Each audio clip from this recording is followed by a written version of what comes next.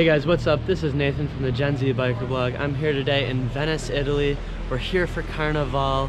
I'm super excited to see what Venice is all about. So we're gonna be spending one night in a hostel, uh, not on the island actually. I'm gonna give you a breakdown of what we're gonna do this weekend and uh, I'll also be giving some prices. Stay tuned and let's go.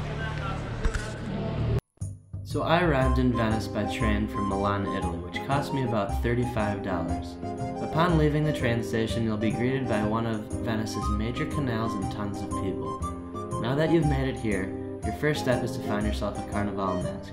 You can find a mask for 2 for 16 US dollars at many of the street vendors, but if you want a nicer mask, stop into one of the mask stores, like this one here, and be prepared to spend upwards of 35 US dollars. So after you've gotten your mask, make sure to stop by one of the local bakeries and get some nice tasty treats or stop by Nino. Ciao. Mandorle limone, mandorle il cappuccino, cioccolatini di limoncello e chicchi di caffè, prego. Thank you. And don't forget to stop by any one of the many truffle shops or even take a smoothie shot while you're at it. Just minutes down the road, you'll run into your first attraction known as the Rialto Bridge. Built in 1591, its predecessor was actually built from wood and burnt down.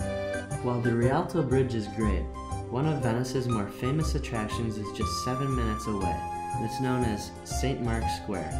St. Mark's Square actually used to be um, an orchard with fruit trees in 828 AD, but then was paved over. Now, St. Mark's Square is home to a bunch of cool different things, including the big tower that you see in the center, which has great sweeping views of the city, as well as Doge's Palace. Doge's Palace is one thing that I did get a chance to go into. That said, I unfortunately did not get a chance to go into one of the most beautiful churches in the city of Venice, as you see here. So we are currently at Doge's Palace. This is right on the water. Um, it's apparently where the king used to live, and uh, there was also a jail here. Now, outside of Doge's Palace, right in the square, is where they did executions of prisoners back in the day. So it's pretty cool. We're gonna walk through, take a tour. Overall, um, to get into the museum uh, and the palace, or with a student card, it was 13 euros to get in. I think without the discount, it would be about 20 euros. So as you can see, it's just some beautiful architecture within this courtyard of Doge's Palace. And the intricacies of this stonework are absolutely incredible.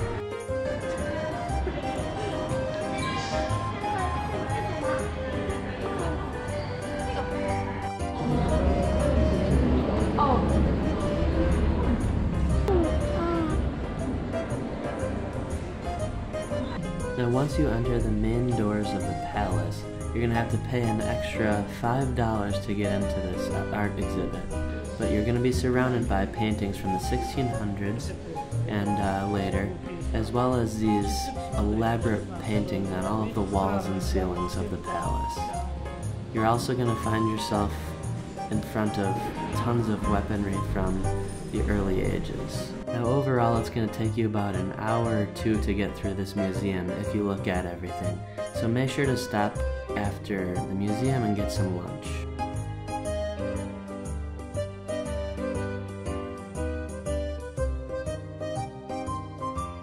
Alright, Nick, give us a rundown of our lunch. Uh, tell me what you thought. 1 out of 10, what would you rate it? 1 out of 10, I'm giving it a solid 7.8, and that's generous. Um, 14, no, an overall cost of what? 18 euro? 18 euro. 18 for euro lunch. for a three course meal. The salad was pretty good. Steak was shit. Uh, pasta was pretty good. Alright. Alright, so we are now on our way to our hostel, which is not on the main island of Venice. Um, but we are gonna make our way over there. We are gonna be taking a bus, which is apparently, I think like three and a half to four euros. And then the hostel that we booked, because of the nature of this weekend being Carnival, um, being almost like a holiday, um, it was $29 a night per person for our hostel. Um, so that's not too bad. Uh, we have a private room shared between four people, so not too bad. All right, so we're finally back. We made it to the hostel. We got a nice bite to eat, uh, as you saw um, above here right now. And uh, now I'm gonna give you a little tour of the room. This hostel was coming in with all the taxes, fees, linens, and all that. Um, keep in mind, during the weekend of Carnival, uh, it came in at about $36 or 36 euros total, which is a little bit pricier than it should be, but like I said, it's during Carnival. Normally it would be cheaper. Um, and this is essentially a, a legit hotel. Um, we've got our own private room, split between four people. There's two bunk beds, and there's a really nice common area downstairs. It's a very clean place. Alright, so this is day two of my weekend in Venice. We're ready to go. We're going to Murano Island, which is the island famous for glass making. Um, we're gonna take a look around that island, and then from there we're gonna go to make our way back to Milan.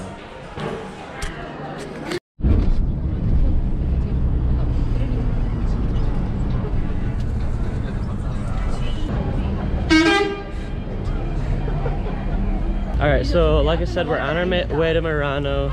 It's uh, we bought this round trip pass. It's a water bus pass. It was 15 euros, or you can do for a day pass if you're going to be doing it multiple different trips. It's 20 euros.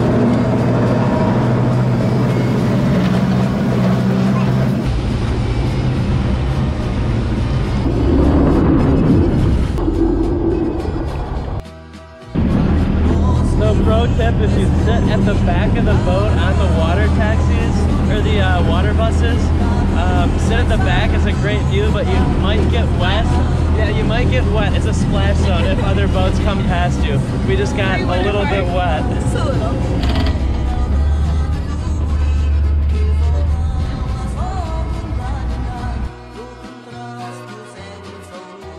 So if you're looking to eat while on the island of Murano, be prepared to be spending a little bit more money than you might have planned uh, when coming to Venice.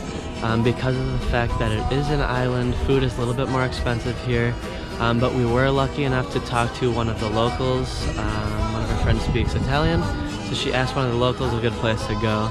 Um, and we were able to find more of like a locals place. Um, if you go on the actual canal um, and eat outside with a good view, you should be prepared to spend about 25 euros for a small portion for lunch. Uh, we ended up spending, I think, 20 euros for a huge portion of lunch. It was great food, great quality.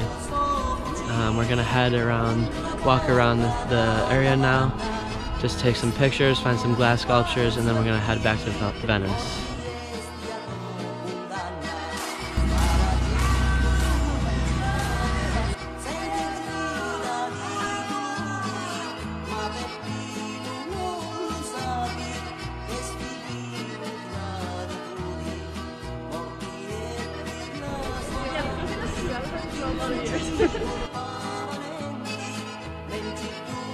Alright, so we finally made it. Um, we discovered the first glass sculpture. I think this might be the only one that's up right now, but it's a glass Christmas tree. It's pretty cool.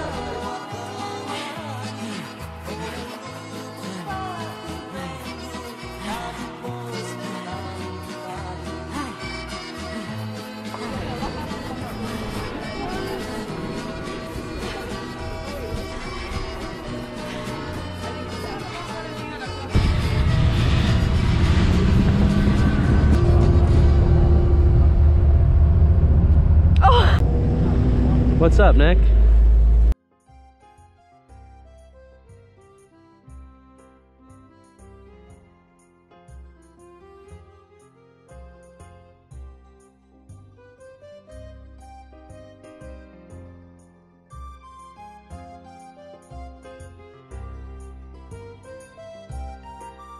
We uh, just took some pictures with some of the Carnival dressed people. It was a great time. Um, it's been honestly a great day overall.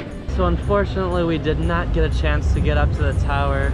Uh, we kind of got lost in the city, which is one of the things I wanted to tell you guys about, is that Venice is a very hard place to navigate. Um, Google Maps does not really work all that well when you're in Venice because the streets are so small. So that's one thing to keep in mind. Give yourself uh, a little bit extra time for travel. Um, even if you're a fast walker, allow yourself some extra time. Um, make sure to allow yourself time. Travel tip one, number one for Venice. Uh, if you wanted to do this trip, you could probably do Venice in a day if you have everything planned out uh, hour by hour and you have the city mapped out. But if you're looking to just kind of take it easy and walk around, make it a two-day trip. Uh, if you do a two-day trip, you can also spend one day doing the two islands, Murano, which is known for its glassmaking, and then Burano, which is known for its lace. So I hope you guys enjoyed this video. Make sure to subscribe